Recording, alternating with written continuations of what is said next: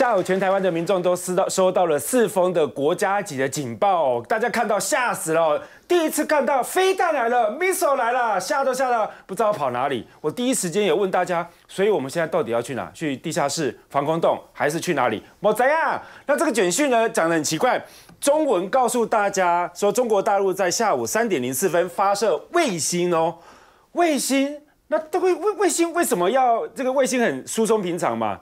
随时都有发射卫星啊，但是英文又写 missile，说是飞弹，fly fly over Taiwan 哦，啊叫大家要注意一下。好，然后来又发说，如果掉东西下来，赶快联络警消单位，打幺幺九哈，报警哦，报这个警察跟消防单位。那但是中国大陆官方公布的卫星发射的路径啊，你可以看出来，完全没有出现在台湾的领空上面。所以它到底要怎么碎片掉下来哈？因为林俊宪还讲说，哦，有一颗超大的，比好几个人大好几颗的碎片会掉下来啊，所以要通知你啊，不是乱发啊。但很奇怪，发也就算了，为什么要发四封四封的这一个国家级警报？以及这一次包括国防部哦，刚刚已经道歉了，他说他们把这个卫星啊误写成 missile 哦，写成飞弹，郑重的跟全国人民道歉。那国防部跟蔡总统刚刚都讲了，他其实是在大气层。可是上一次美国的议长佩洛西来的时候，不是告诉我们，就算是打飞弹，但是他只要是在他大气层，就是领空，就不是不啊，就不是我们的领空啊，所以就不用跟大家讲啊。好，这一次大家还记得吗？这是民进党做的啊。中共的飞弹进到大气层，就不属于任何国家的领空啊，所以就不用发警报。那更妙的是哦，承建人还状况外。在立法院跟民进党立委一问一答的时候，他还说收到简讯啊，是中国发射的飞弹。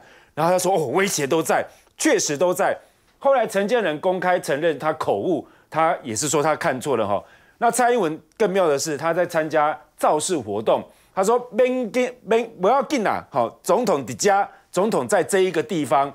好了，那现在其实有人去爬出来，两天前中国大陆的这个媒体就已经预告了这一个卫星的发射。然后听说明天也有，后天还有。赖清德还告诉大家，民众有知的权利。可是卢秀燕就担心啦，你这样子搞哦，为了选举哦，搞这一招，那下一次真的飞弹来了，狼来了，大家会反而该躲的时候不知道怎么躲。请教兵哥，我觉得今天下午真的很多人都被吓到，而且你发一通也就算了，发个没完，嗯，一直响。我那时候刚好录完另外一个节目，对，整间办公室全部都在响。嗯，你这样是干嘛？哎。如果他正在开车或者正在骑车，会不会摔车啊？哦，对啊，那个都被你吓到了，因为不知道发生什么事。你如果急于要看的话，会不会因为这样撞车啊？你们都没想到会产生什么后果吗？然后他们现在说，哦，没有啦，因为是中国大陆发射这个卫星呢，这个航机呢好像跟我们原先预期的不一样，所以才要紧急发射警报。那问题来了，问题是这个东西真的是突发状况吗？根本不是，人家去年就公布要发射这颗卫星了，而且这个是多国联合合作的一个卫星计划。所以是多国介入我们的选举，我我不知道，可能啊，对啊，是这样的意思吗？八国联军介入本国选举，台湾的选举对全世界重要到这种地步了，大家都要介入，就是这到底在搞什么？而且后来的国防部道歉说没有啦，因为这个他们在紧急发这个简讯的时候忘记把那个 missile 改掉。可是我告诉大家好不好？不是忘记把 missile 改掉，承建人其实也没有口误，他也没，因为上面写的就是 missile，嗯，所以他他认为是飞弹很正确啊，嗯，但是重点是什么？重点是发射卫星，如果是卫星经过我们的大气层上空的话，根本不是发警报的时候，嗯，我们有二十三种规定要发警报，没其中没有发射卫星，我们本来就是对发射飞弹这种你才会有警报啊，嗯，所以他就临时用了一个发射飞弹去发射去做这个卫星警报，所以这根本是国家级假警报。那问题来了，你看哦，陈建仁显然是被蒙在鼓里，所以他是看到那个解决哦，上面写 missile，所以我我就认为是飞弹。可是蔡英文是从头到尾都知道了，他他叫大家放心啊，我在这边。哎，你想想看，他那个时候正在助讲、正在拉票的时候，而且看起来就像在等南部啊。对啊，而且他为什么这么镇定？哦，这难道是蔡英文预先设计好的吗？他有拍一张照片啊，说这个陈其迈拿东西给他看，然后旁边的人是表情很惊讶这样子。那你但是总统的头是表情是被头发遮住，看不到总统到底惊讶还是那个那个惊那个惊讶也可以装出来的啊。没有，我是说搞不好总统的表情是一副我早就知道了。对啊，你拿给我看干嘛？而且你要知道，现场其实照理来讲应该是跟我们一样，现场是这种声音大作的哦，因为现场很多人啊。那个摄影官为什么知道要拍那个角色？是啊，我也觉得很奇怪。正常来讲，陈其迈跟总统之间在看什么东西，摄影官是不可以拍的。他会抓其他人的表情呢？对，因为那会涉及国家机密啊，哦，他不可以随便拍的。嗯嗯，这种这种东西可以拍，如果他们两个谈的是国家大事怎么办？所以这个都非常非常让人家觉得奇怪。在我看来，这个更像是某种认知作战。好像就是要告诉你，老公的威胁又来了，又有人要介入选举了。可是在我看起来，这比较像是谁在借选？是民进党在借选啊！人家现在大陆那边公公路的卫星轨迹图根本就没有经过台湾，嗯，它是在我们鹅銮鼻下面下方那个地方过去，根本没有经过台湾上空。就是照片这一张啊，差那么远，对啊你们除非它飞弹大到不得了，是啊，一个高雄那么大它，不是飞弹呐，它就是一个哦卫星啊。一个卫星啊，我被国防部你也被误导了。啦！看国防部已经道歉了。哎，看我，但我看到网络上面很多啊，一四五零或者比较是民进党的支持者，就说哦，这时候跳科目三来得及吗？啊，阿公忍不住又手痒了啊。不，我我认为哦，今天民进党哦用这个奥博是真的非常非常非常非常非常的过分。好，第一个呢，我实在忍不住啊，要跟大家哦，今天来学英文单字哈。卫星叫什么？叫 satellite。嗯，哦，它 S 开头的，跟飞弹 missile 根本呃字母拼音长得没有任何一点相似，你怎么会搞错呢？好，那卫星为什么不必通报？因为卫星是无害，它不是攻击性的武器。卫星呢是要用火箭。承载它，火箭作为它的一个动力，它往外太空呢，把它发射上去呢，进入卫星的轨道。那这个探针卫星它是要干嘛的？它是中国大陆这几年积极的跟世界各国合作呢，他们要去探索这个宇宙的奥秘，他们要去知道说外太空到底有没有一些讯息呀、有没有一些可能可以跟地球人互动的生物，大概是这种概念的事情。那你这个根本毫无威胁力，你你为什么要发警报？可是如果是飞弹是 missile，那这是攻击性武器，那 missile 是不是不是？它是要我觉得委员听起来就是很生气，是因为我们选举居然选到这种程度啦。我生气的地方是你今天发了四通简讯啊，所有人都知道了，以为这件事情是真的啊，结果呢，你国防部道歉，各种新闻来讲，很多人不会收到这个讯息呀、然后民进党的心态就认为说，哎，中国大陆没有这次不肯武赫来借选，那我们自己制造芒果干。当国防部变成了网军程度。啊，你觉得国防部会犯这么低级的错误，把卫星 satellite 叫做 missile，英文写成 missile，可能吗？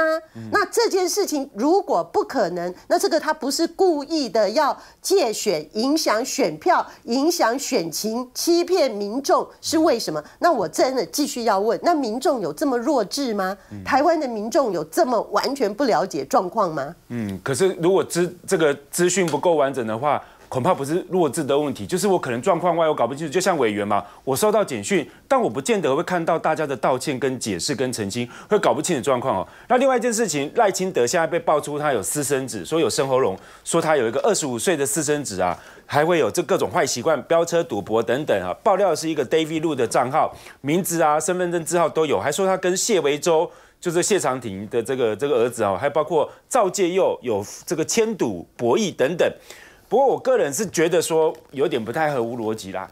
赵介佑如果知道知道这么天大的机密的话，赵介佑被关的时候怎么没有拿出来，把它当出一个啊自保的一个法宝哈？那另外一个话题是施锦中台大的名医，他有直接在昨天发出了警讯，说他现在一届有史以来第一次，很多人这辈子。一第一次要把票投给国民党，因为赵少康讲健保给付一点一元哦，这个太有杀伤力了、啊。赖清德就说：“哎，我们会跟进，我们来做提出更好的方案。”然后他还说：“我来自医界啊，医界面临的各种困难，他是最了解的。”但施启忠对他的这个反应其实不是这样。他昨天讲啊，医生不是医界不是任劳任怨的哦，不是做功德的。那今天立法院大家要讨论高端的这一些合约到底要不要公开？那陈建仁在立法院里面哽咽，他说很多老人家不敢打疫苗，染疫死亡，都是因为国民党抹黑了高端疫苗啊！为了政治利益，使得我们国人都不敢去打、所以他哭啊，谁该负责任？还有万华事件，还好是第一线防疫人很认真。柯文哲、侯友谊做的防疫都不好，没有办法带带动城市的防疫工作。那卫福部长薛瑞元说，可不可能选后公开啊？说要问高端哦，不是问我哈。那中研院士陈培哲他就讲说，很难理解不能公开的考量到底是什么？因为新冠疫苗已经停产了嘛，应该不会是商业的因素，难道是选举因素吗？然后现在北检也开始侦办了，针对陈时中、吴秀梅等人在内的开始来做有关内线交易的这些指控、赌徒罪、赌职罪的指控哈。那现在是他案在侦办当中哦，请教委员。我觉得今天陈建仁的哭哦，真的是鳄鱼的眼泪了哦，因为很简单，高官的那呃高端的那个录音带里面已经显示啦，他并没有效果啊，甚至董事会都还质疑说那没有效怎么办？他说我们就增加抗原呐。那事实上呢，也很多后来去查抗原的这个打疫苗之后去查抗原的人也反映啊，高端疫苗是没有效果的啊，它对身体不一定有害，可是它没有效果。所以陈建仁，你哭什么？那些老人。他还好没有打高端疫苗，他如果是打其他比较有效的，譬如说莫德纳，譬如说 B N T，譬如说 A Z，他们可能受到保护。那有些老人是因为你们一直不肯让那个疫苗进来，所以呢，他们还来不及打疫苗就过世了。那你自己在疫苗上面处理的一塌糊涂，然后你们为了护高端，让人命置人命于不顾，那你今天哭什么哭？那你要让那些家属哭死才对。所以我觉得今天在立法院，我们看到这种结果，真的非常的痛心。那我觉得今天的剪掉。也是为了平息民怨，所以现在呢又假装的去调查一下高端公司。你去年就可以调查了嘛？这个事情大家已经扯那么久了，你今天才去搜索公司。好，那就算你搜索了，那你可不可以早一点告诉我们里面到底有什么猫腻？结果今天立法院吵一圈就看到，然后耀州，我认为问题又来了。刚才我们讲那个四封警报，为什么？时机点为什么选在高端呐？高端呐，他转移高端的焦点高端呐，很多人认为说他是不是转移罗志正的问题，或者转移赖清德私生子的问题？事实上，赖清德私生子从他选市长我就听说过了。我认为在这个时候根本无法影响选情啦。可是高端会影响选情，所以今天立法院的开议，你看有什么见不得光的事情？对。高端见不得光，他们不愿意公布高端的疫苗，因为连这个中研院士陈陈培哲都出来讲话了，对他绿营的伤害是很大的，所以这时候呢，赶快连续连发的故意这个鱼目混珠，明明是卫星故意写 missile，然后连续四通简讯，就是要让你今天的立法院高端的焦点不见了。嗯，而且那个赖清德还特别讲了说。如果有私生子啊，哈，不管是谢龙介或者邱毅哈，啊，如果拿得出他的小孩来验 DNA，他就立刻提出百万的奖金。哦，这次跟这个蒋万不一样，蒋万是别人跟他要 DNA 赖清德是说他愿意验 DNA 哦，但是 DNA 报告也有在网络也有有啊，就有那一份啊，就已经有。因为 Twitter 上面那个 David 啊，David 录的资料是很完整的，包括这个各自名字、身份证字号、地点啊什么的，非在非常详细哦。但赖清德说那一些都不会是真的，如果是真的，他愿意验 DNA，寄出百万的这一些奖金哦。斌哥要请教一件事情哦，另外一个，现在因为大家要讲说什么事情都推给中国借选了。罗志正的影片中国借选啦，啊，这个张宏禄的家里去中国大陆赚红钱，中国借选啦。现在这个 Miso 啊，跟卫星搞不清楚，大概也是中国借选。你看啊，给我在帮我们乱发简讯了哈，会这样怀疑了哈。但是我觉得最扯最扯，一般民众最不能接受的是新北的割颈案，很多人讨论 face，他说这样的连结，赖清德说就是中国借选啊。可是做这样结连结的是谁？是死者的家属哎。死者家属当中就有一名，我是反对废死的，所以把这个割颈案跟废死连接一起的是家属哎，还有包括我们一般民众直觉的感受啊。赖清德说，你只要连接在一起，就是中国界选。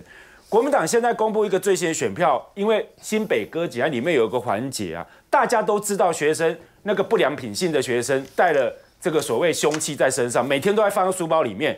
就范宇啊，之前开记者会就是说不行啊，不可以收学生的书包啊，因为有所谓人权的问题。再加上他之前疫情期间三加十一这个事情，大家都还没有跟他本人算账哦，所以国民党就拍了一个新的广告，要用选票下架范云啊。当然，范云说他从来没有说不能收书包。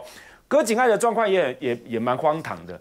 这个干妹在外面被指控，警方说她到处跟人家串供啊，把现场目击者用另外一只手机跟他们讲说你要怎么讲，你要怎么讲，教他们串供啊，都串完了，串得干干净净的。现在呢，因为大家骂，一月八号说把他裁定收容，来得及吗？十二月二十五号发生的，都大半个月去了，他该处理的都已经处理完了哈。那台南杀警案的被害的这个警员曹瑞杰的这个哥哥曹瑞龙，他昨天去柯文哲台南造势哦，他就喊。他说：“这个案子审理过程中，家属备受煎熬。后来虽然判死刑了，但他问柯文哲：‘你上任之后，你会不会执行？’柯文哲说：‘啊，如果该执行就要该执行啊，如果那个法规有问题，就要修法规，不能放在那边哦。法规放着啊都不处理。’侯友今天是签署反废死的，不过赖清德大家都知道，怎么问他他都不表态嘛。金耀斌哥，赖清德就是不敢表态，因为民党的党纲里头就写了废死啊。”所以，所以他没办法表态，他违反自己的党纲吗？那我跟大家报告，就是刚刚军方已经证实了，卫星根本没有经过台湾上空，我们自己的军方证实。那总统跟院长都讲的不对，国防部第一个声明也不对啊。所以我就跟你讲，这是国家级假警报啊，根本大家全部整个政府都在骗人啊，根本没经过台湾上空，你们发什么警报？嗯，所以我们整个系统都出了非常严重的问题，这是很糟糕的一件事情。那范云他有没有说过不能收书包？他真的没说过，但他说什么？他说要收书包可以，但是要两个家长会的代表跟一个学生代表在现场才可以收。那请问一下，没有斌哥，他最大的前提是你要有合理对，当然要合理怀疑。但所以啊，请问一下，这些条件要怎么样才能凑在一起？嗯，基本上就凑不在一起，所以就根本就不能收，不就是这样子？而且学生还可以录影，录影要干嘛？就要告你啊！没，本来就是这样子啊！你们做的这些动作都只是让老师，我干嘛要自找麻烦？我干脆不要去碰这件事就好了嘛。那这一个。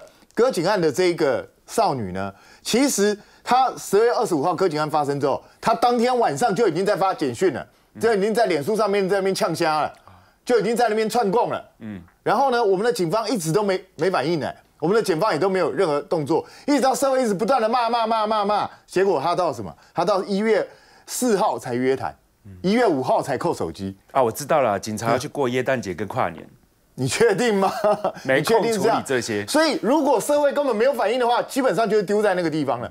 你责付责付给家长的时候，你们当然要主动关切，看这个家长到底有没有办法去管束他的行为啊。如果他根本没有办法管束行为的话，你们都不怕他继续出来犯案啊？你们都不怕怕出来继续教唆别人去犯案吗？